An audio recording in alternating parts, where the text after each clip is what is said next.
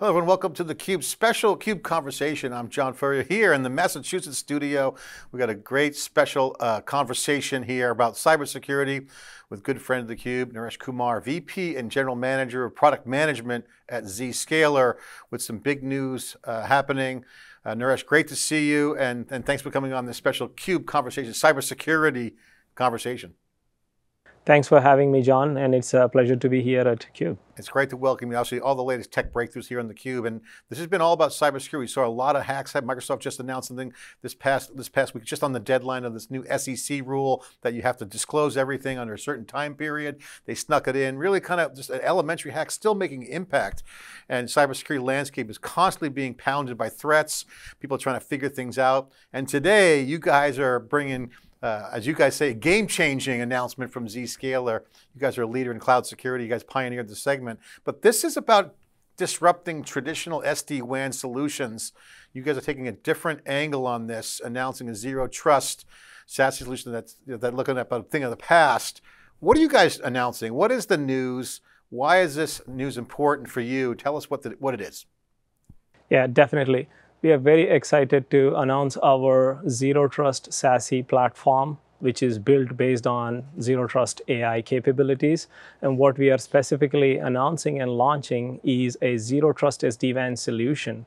And it is completely built with Zero Trust principles and thinking to make sure that enterprises can leverage the technology for branch offices, factories, sites, data centers. It's all about bringing zero trust for not just users, beyond users into those IoT OT systems, those printers, those, those cameras, and all the critical infrastructure in the data centers. It's all about bringing zero trust for uh, those endpoints within these branch offices and, and redefining this SD-WAN. Uh, that, that's, that's about the announcement. And as part of this, we are introducing some plug and play appliances with new capabilities, uh, which we are very excited about to talk. So I want to dig into the product uh, product side of its platform, plus there's some hardware here. I want to get into that architecture and the solution. But before we do that, Naresh, can you explain uh, what Zero Trust SASE is and how it differs from traditional SD-WAN security solutions? Yeah. Um, SD-WAN is there for about close to nine or 10 years, right? And and the SASE is is relatively a new concept in the past two years, um, where the whole idea is how to bring the network and security capabilities together. Un until now, if you see the the entire networking products and solutions were completely deployed in a silo compared to the security products and capabilities, and with the users uh, going mobile and working from home. And all of this whole hybrid work is here to stay. And with those, the access needs are completely changing. So the assumptions that everybody is going to be in office behind a perimeter and secure those edges is what traditional SD-WANs are built. And we at Zscaler are taking this a completely fresh look at what this access means. How do we connect these uh, users, these machines in a complete zero trust principles so that customers can take advantage of that end-to-end -end platform capabilities we offer in a true zero trust manner that's uh, that's what we we uh, want to disrupt and solve for our customers. Take us through the problem statement uh, and elaborate more on this benefits of connecting users and locations and clouds through the this zero trust platform called Exchange platform. What's the problem that you guys are solving specifically, and how does that and, and how does it extend zero trust beyond users? Yeah, a very good question. So let's look at the problem in terms of if you look at connectivity. So especially if you look at users connectivity, uh, when they're in office, they're assumed that they go through firewalls, VPNs to connect to the applications in the data center. And with with all ad adoption and uh, of uh, uh, SaaS applications and cloud, the applications are not anymore in the data centers. They're completely migrated to the cloud. And, and, similarly, the user is not anymore sitting in the same office location. They are moving to coffee shops, airports, or even working from home or wherever their choice they want to work from. So you can't have a security and restriction in terms of what they can access uh, defined differently in different parts. That's what was happening all along. So that, that's that's where things like remote access VPN or any form of VPN generally uh, bring a lateral threat movement for, from a compromise standpoint or even if you were to put a firewall appliances or VPN appliances uh, stretch into the cloud or SaaS applications or wherever you the, the applications are hosted, you're simply extending the attack surface.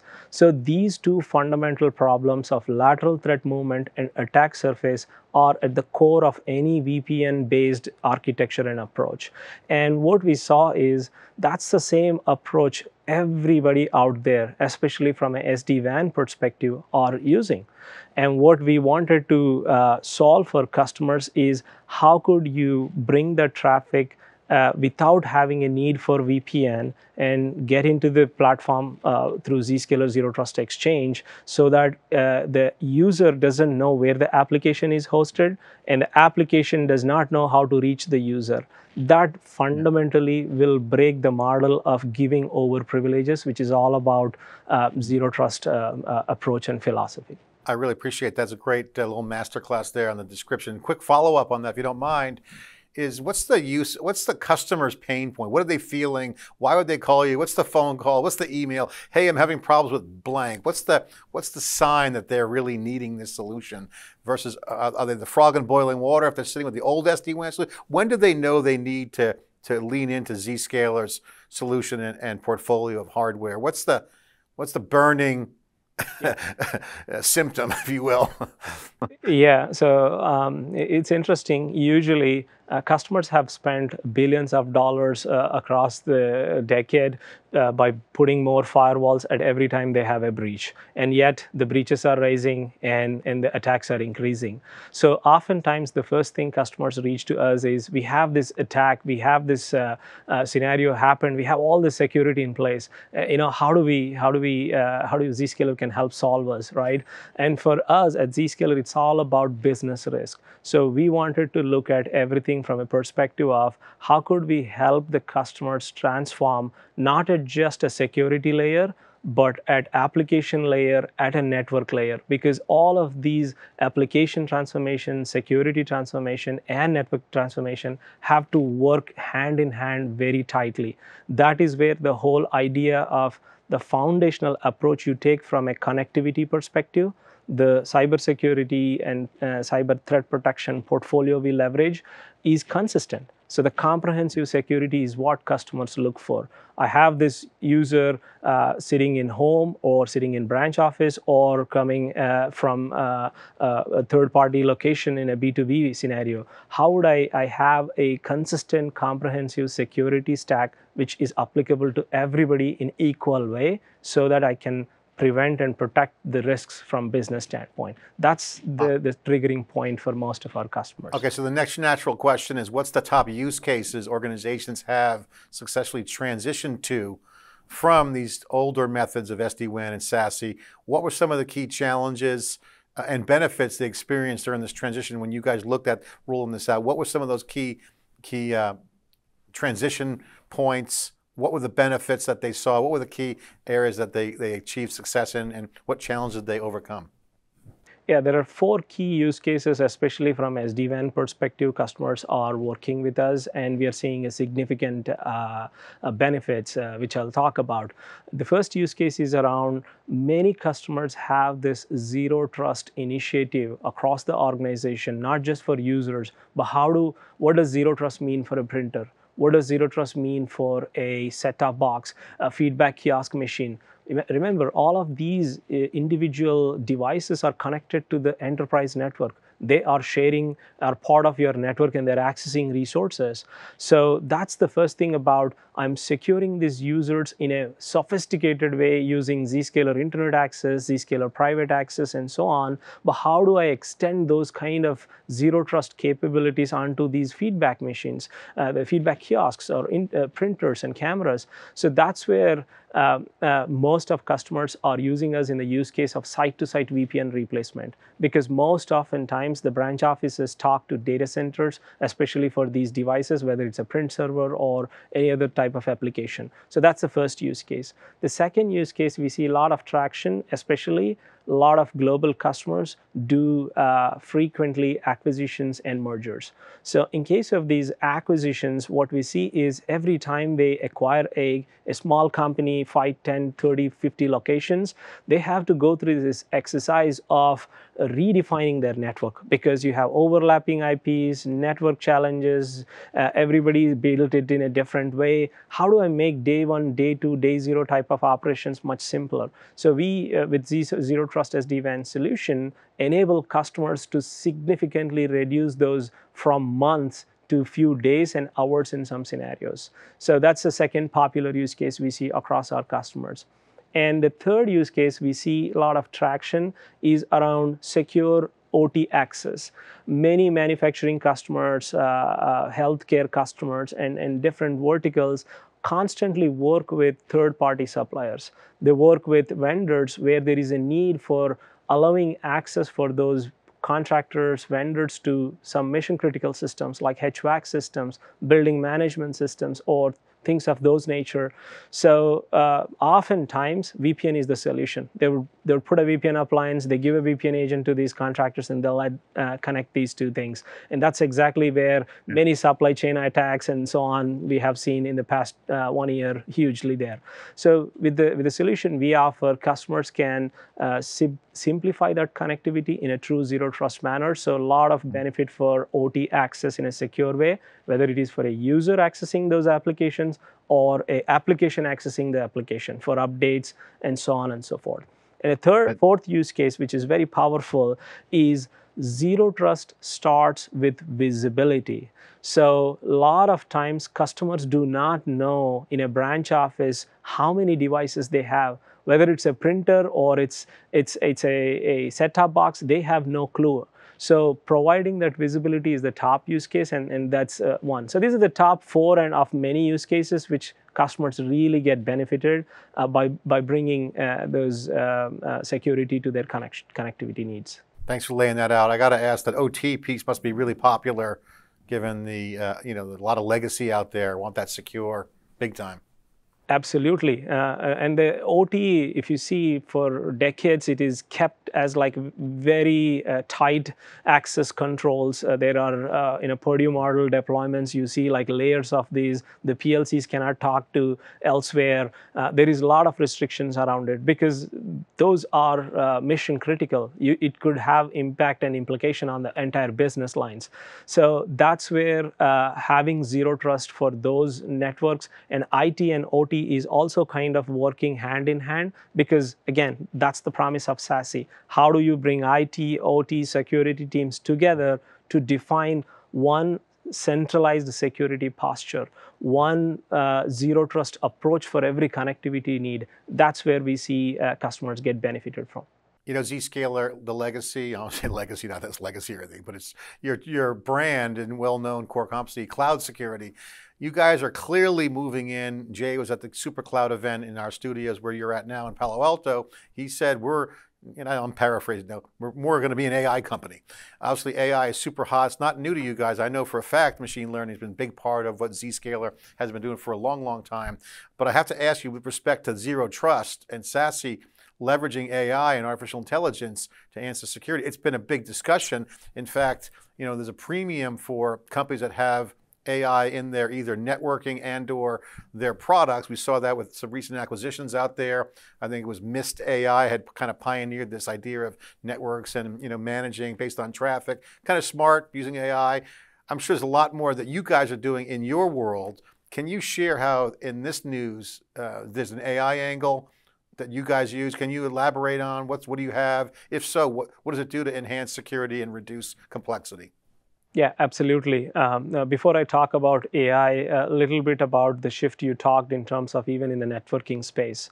So in 70s and 80s, you have seen a lot of IBM SNA type of technology was the primary thing which connects networks. Then came IP and TCP IP, changed the whole world in 90s through 2000s and beyond, where everything is IP networking. So what we see and strongly believe is the future of networking is going to change, which is zero trust networking right? That's where we believe that every connectivity uh, whether it is a user, machine, doesn't matter, or a workload in the cloud, all of them will have to fundamentally take a zero trust approach in connection, in, in connectivity to anything they are connecting. So the zero trust networking is the next two or three decades thing what we see as a, as a future uh, going to be. And that's what we are building our product uh, to align to that and, and give customers that uh, transition from where they are into a zero trust networking world. Uh, uh, and ai plays a central role in all of this because the data uh, effectively these connectivity needs and everything if you see every endpoint is is accessing some data or producing some data. And data is at the center of all of these. And we at zscaler have uh, hundreds of billions of transactions and logs we have uh, and and the sophistication in ai particularly in the generative side uh, what we have seen to take advantage of that you cannot work on public data you need a enterprise specific data. The models have to get trained on their uh, local models, local data. So that's where Zscaler has an advantage of offering capabilities to customer through our data cloud and a lot of innovations we are doing in terms of predicting the breaches or in terms of identifying uh, sort of a data thefts or um, over uh, privileges and things and so on. So AI has an amazing advantage, especially when you have a lot of data which has more context which you can take advantage so that you can drive a meaningful outcomes. So the, this is a, a, interesting overlap of zero trust networking powered by AI is going to transform the way we all uh, exchange information, look at things and connect things and, and so on. So a lot of innovations yeah. coming uh, from Zscaler on that front. You know, I'm just looking at my notes here and I want to bring this up because it is in, it was recently in the news Last week, Microsoft's um, nation state actor, Midnight Blizzard, called by other names, depending upon if you're talking to um, Mandiant or CrowdStrike, certainly they were attacking Microsoft's network. They had to reveal this by the new SEC laws. I mentioned that earlier, is top news. Um, companies have to disclose um, now by law uh, after only like four days of what their breach, if any hacks. This Microsoft attack uh, was not a vulnerability on any of their products. It was, it was like a, an amateur hack. Um, they got in. So again, this is where I see AI in, in IT operations really moving the ball to the to that part of the world where you know AI should be able to handle this low level yeah. simple hack. I mean, it's an amateur hack. Microsoft got got hoodwinked, so to speak. They never should have been in there. Yeah. This should Absolutely. have been this should have been identified. This is this is kind of the things that we see AI. Is that what you mean by leveraging the AI from with the data you have? You guys see the patterns. Does that help on the threat detection and the recovery and the backup protection? Absolutely. So that's where, if you see, we have announced some capabilities around Copilot. Uh, the role of AI is more going to be a Copilot rather than the pilot itself. Um, so it is uh, going to assist the SOC uh, tools uh, or SOC vendor, SOC, SOC analysts with a lot more information a not only just identifying things much quickly even on the remediation side even on on prevention side yeah definitely those uh, security co-pilots alongside uh, uh the regular uh, threat analysis is, is going to be a, a big big uh, wave of change going to happen in that space yeah. yeah. the network is where the action is you can see the footprints so to speak the packets got to move around so good yeah. good to have that zero trust um, you know, people are concerned about these co-pilots and like the security. I was, uh, I had a, one of Microsoft's customers tell me, you know, privately at the conference in Seattle that you know, they're turning off all the co-pilot until they can trust it. This becomes kind of, I won't say a safety issue, but more, it's more trust. Like, how do I know it's trustful? So as you guys look at the SASE, a zero trust SASE, this kind of plays into um, that new dynamic. How do you guys guarantee or talk to the, the trust issue? Yeah, uh, again, uh, the, the approach, as I said, ours is um, trust but verify, right? Don't have a, default trust. That's where the traditional firewalls uh, were built on trust zone, untrust zone, and you allow kind of it stays there forever. So, fundamentally, taking that approach of assuming that every connection could have a breach and how you could contain the breach, how could you minimize the, the, the privileges uh, uh, which are allowed to access a particular resource. Those are the type of things will minimize it and bring the blast radius to significantly smaller. And, and that's, that's the promise of zero trust architecture and not just applying to users, but you need to apply that for every connection in an enterprise, whether it is a, a machine or it's a feedback uh, machine or even a badge reader to enter your office. Everything has to be uh, put in that zero trust principles and thinking would minimize a lot of this. We love your approach with the data. We'll keep an eye on you guys, making sure we keep tracking that. I love that data angle. I think that's a real advantage you guys have. And a lot of companies are moving in that direction to make sure their data is working on their behalf in a very safe uh, secure way. Okay, since uh, you did a great job on that, Naresh, I love to get into the, the plug for the company's uh, release. Take us through um, the product deployment. What's being announced specifically in the news? Is it hardware? Is it virtual uh, devices, appliances? Is it platform, software, all the above? Can you explain the product uh, specifically, how it's uh, announced and what you're releasing and how it's deployed?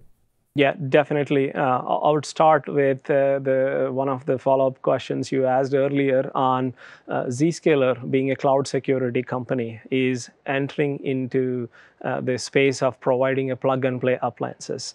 And, and uh, the most important thing here is customer obsession. Uh, we hear to our customers all the time, and they are connecting to our platform through different endpoints at the edge in, in branch offices, factories, and sites. So when we talked to customers about this zero trust, they asked us to uh, simplify this even at the edge level, that is branch offices and factories. And that's where uh, it, customer first. We want to uh, hear them we partnered with SD-WANs prior to this until now, and now it is time for us to really go and uh, uh, bring that zero trust end to end. So as part of this launch, what we are announcing is a, a few plug and play appliances. We call them zero trust devices. There are three flavors of these appliances we are announcing. Uh, ZT400, uh, which is a four-port, uh, 200 megabit throughput appliance, a ZT600, which is a six-port, 500 megabit throughput appliance, a ZT800, which is an 8-port 1 gigabit throughput appliance. And for those sites where the needs are more than 1 gig, we have a solution in form of a virtual machine which can scale and accommodate multiple gig throughput. So all in all, these Z, Z connector appliances deployed at the edges of the branch offices, factories, and data centers would bring the traffic onto our platform where we can completely replace the need for having a traditional site-to-site VPN-based technology. So that's uh, one advantage. The second benefit is they can take advantage of all the, the comprehensive security capabilities we offer on our cloud today, which is driven by AI. And in this process, we are completely eliminating a routable overlay network because those are the foundational uh, concepts you will see in any site-to-site VPN where you have to distribute the routes and so on, all of that brings lateral threat movement and, and challenges. The, the second uh, big uh, thing we are eliminating for customers is attack surface. We are minimizing and reducing the uh, attack surface altogether, and which, which in turn benefit from not having a lateral threat movement altogether. So those are the, the complexities, challenges, and things we eliminate for customers, and customers can really have a simplified and secure connectivity through zero trust approach. They can extend the benefits of what we are offering on the platform, uh, taking advantage of the one true zero yeah. trust SASE platform capabilities. Well, Zscaler's been doing extremely well. We've been following the business success as well as the technology success in cloud security. Naresh, thanks for coming on. And again, I think SD-WAN is being disrupted. You know, obviously you got security risks and more complexity as you know distributed computing evolves to the edge. You got a lot more CPU, GPU, TPUs, more data coming. I think yeah. we're going to see a lot more people looking at the Internet of Things market as just internet, and it's going to be refactored. Uh, great to get your news. I guess in summary, what's the how would you say the the bumper sticker would be for this news? If you had to summarize this in a sentence, this news and what it means for customers in the industry, how would you um, put a bumper sticker on this news? Yeah, AI powered SSE plus zero trust SD WAN is equal to zero trust SASE. And all enterprises are looking for that. And we are very proud and happy and excited to announce this Zero Trust SASE capabilities for our customers. All right, Naresh Kumar, VP and GM of Product Management at Zscaler. Got the keys to the kingdom in the product management side. Thanks for sharing and good luck with uh, this business. We'll be tracking you and thanks for coming on theCUBE. Thank you so much, John. It was very exciting conversation and looking forward to talk to you again. Okay, thanks everyone. This is theCUBE. I'm John Furrier here in Massachusetts studio, talking with our remote studio in Palo Alto. Thanks for watching.